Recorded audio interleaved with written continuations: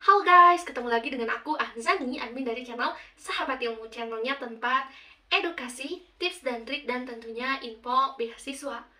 Oh ya guys, ngomong-ngomong tentang info beasiswa Di video kali ini aku akan share lagi ke kalian Tentang apa-apa saja yang perlu dipersiapkan Ketika teman-teman mau ikut tes beasiswa. Salah satunya adalah tes substansi akademik atau tes wawancara.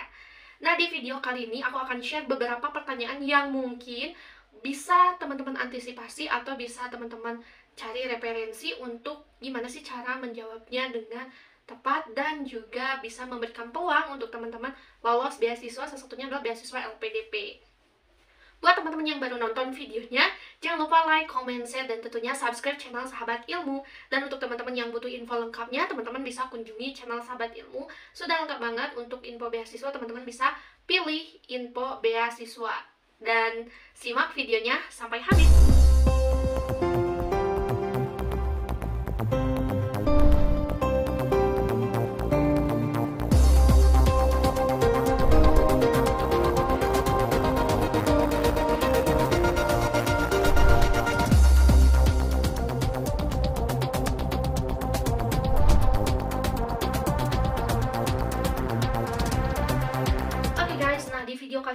Akan sharing tentang pertanyaan yang bisa jadi menentukan buat kalian lolos beasiswa, salah satunya adalah beasiswa LPDP. Oh ya, eh, beberapa waktu lalu, entah beberapa pekan lalu, aku dapat em, ada DM mungkin banyak banget, tapi belum aku coba baca satu persatu. Cuman benar-benar urgent ada yang masuk lewat WA. Nah, ternyata ada salah satu subscriber yang mencari tahu, cari info, kontak, udah katanya udah eh, komen di YouTube, udah uh, DM IG juga. Terus terakhir dia masih uh, nggak patah semangat dan coba menghubungi aku via WA dengan cara uh, cari nomor aku minta nomor kontak aku lewat teman-teman aku. Dan alhamdulillah dapat dan seketika dia langsung hubungin untuk minta uh, diskusi atau latihan untuk seleksi wawancara nah mungkin untuk info sekedar info untuk tahun 2021 sendiri aku pernah buka uh, Zoom untuk bareng-bareng dengan teman-teman yang akan apply beasiswa LPDP kayak latihan kayak gitu. Cuman untuk di tahun 2022 ini kebetulan aku belum buka. Mudah-mudahan uh, urusan-urusan aku, kewajiban-kewajiban aku selesai di bulan-bulan ini sehingga nanti pas pembukaan LPDP di tahap kedua, aku bisa share ke kalian memfasilitasi untuk teman-teman yang akan apply beasiswa LPDP untuk nanti ada sesi seperti di tahun 2021. Ada Zoom meeting dan nanti kita akan sharing dan sekaligus latihan juga wawancara. Oke, okay, uh, langsung saja singkat di video ini aku akan kasih dua pertanyaan yang akan uh, menentukan teman-teman lolos atau tidaknya di beasiswa LPDP itu versi aku dan versi dari teman-teman awadi yang sudah lolos juga. Dan juga aku di sini belajar dari teman-teman yang sebelumnya tidak lolos di beasiswa LPDP, salah satunya di tahap wawancara ini. Kenapa nih bisa nggak lolos? Dan aku coba kayak misalkan riset gitu pertanyaan-pertanyaan apa saja sih yang muncul dan ternyata susah dijawab atau mungkin blank gitu ya nggak bisa dijawab oleh tak yang nggak jadi lolos itu nggak lolos LPDP ini. So so untuk pertanyaan yang pertama. Nah mengapa anda harus lanjut kuliah? Dalam hal ini mungkin S2 atau S3 untuk beasiswa LPDP sekilas pertanyaan ini simpel banget tapi jawabannya lah yang harus benar-benar luar biasa.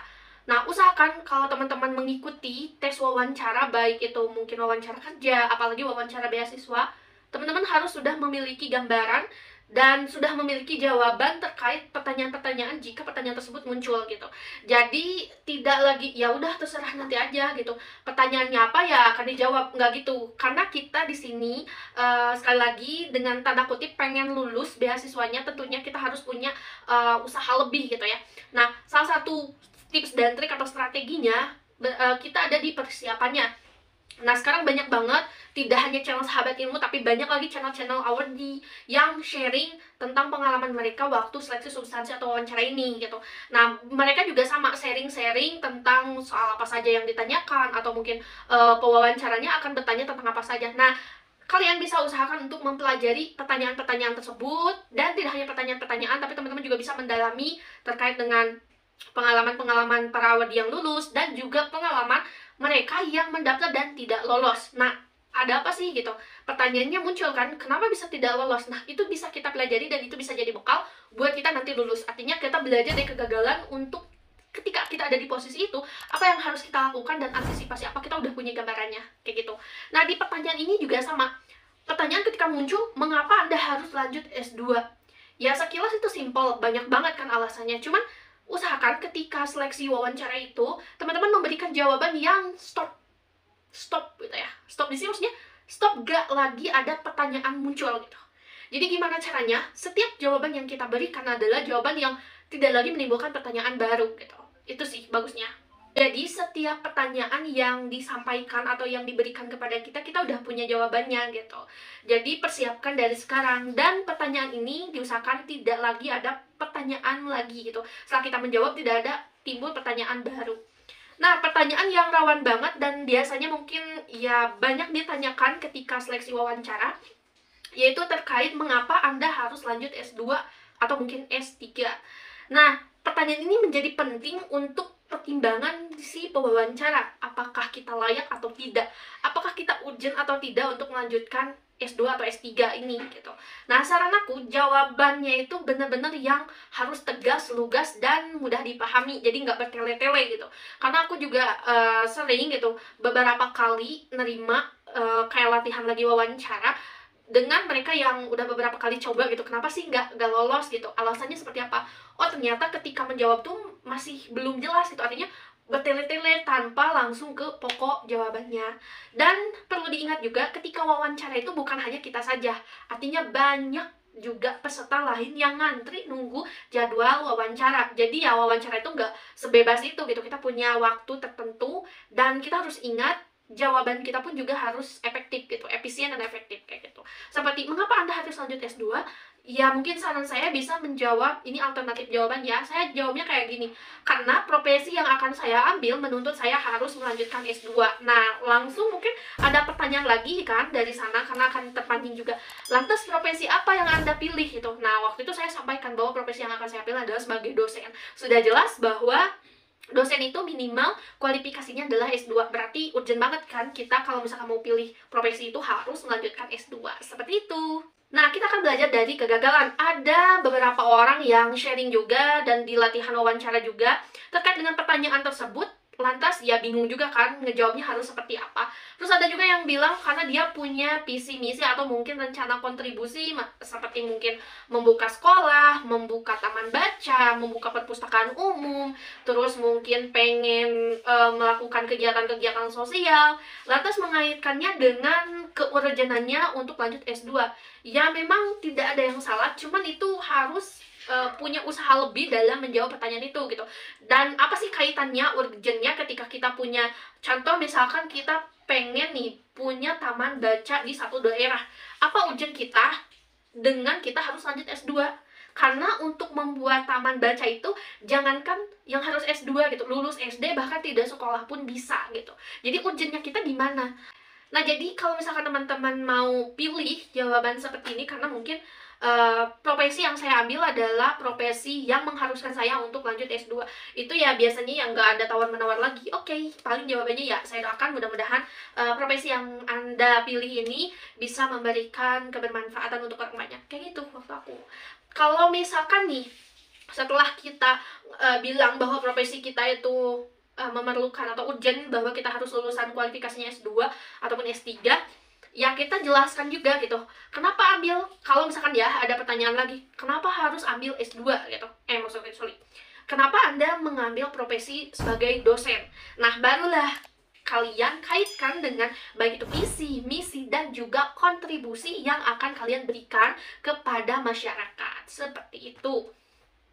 Dan mungkin ini sharing juga ya uh, atas uh, mungkin eh, pengalaman-pengalaman uh, teman-teman yang belum lulus, belum dapat rezeki untuk lulus beasiswa, uh, mereka kebingungan gitu sampai mentok ketika diberikan uh, pertanyaan lagi, lagi dan lagi sampai akhirnya nggak bisa menjawab gitu. Iya menjawab bisa, cuman jawabannya itu benar-benar udah skakmat ya udah gitu.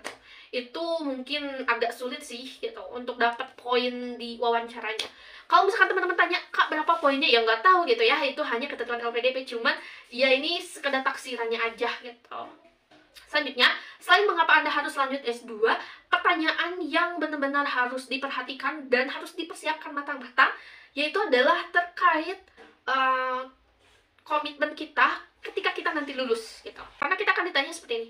Apakah Anda sanggup untuk lulus tepat waktu? Nah, kira-kira jawabannya akan seperti apa? ya mungkin teman-teman punya jawabannya masing-masing atas browsing-browsing terus teman-teman juga nonton video-video channel lain yang membahas tentang beasiswa sesuatu yang PDP ini mungkin banyak wawasan yang telah teman-teman dapatkan. Dan mungkin di sahabat ilmu ini juga akan sharing kalau misalnya teman-teman punya pertanyaan seperti ini dan atau mungkin dapat pertanyaan seperti ini sesuai dengan pengalaman aku dulu ya aku bilang gitu bahwa saya sanggup untuk lulus tepat waktu dengan bukti-bukti. Nah, bukti-buktinya saya sampaikan waktu itu. Dengan bukti-buktinya, waktu di S1 juga saya lulus tepat waktu. Bahkan saya ikut kelas akselerasi dengan jangka waktu lulus 3 tahun setengah gitu. 3 tahun 6 bulan kayak gitu. Jadi, kita meyakinkan bahwa, oh iya gitu, pertama kita berkomitmen dengan tegas kita siap untuk lulus tepat waktu. Dan yang kedua kita kasih bukti. Jadi nggak cuma ngomong ya tapi kita kasih juga buktinya seperti apa. Kayak gitu. Nah mudah-mudahan pertanyaan-pertanyaan ini mungkin ada gambaran buat teman-teman tapi buat teman-teman yang masih bingung atau mungkin ada pertanyaan lain yang mau didiskusikan atau ada pertanyaan lain yang masih bingung cara jawabnya kayak gimana teman-teman bisa tulis di kolom komentar dan buat kalian yang mau seleksi substansi akademik Ayo semangat dan aku doakan semoga lancar dan diberikan kelulusan yang memuaskan. Thank you udah nonton, jangan lupa share sebanyak-banyaknya. Salam sahabat ilmu.